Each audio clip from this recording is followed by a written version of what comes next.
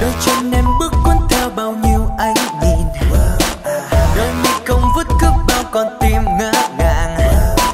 Em luôn thu hút khiến ai cũng phải ngước nhìn. em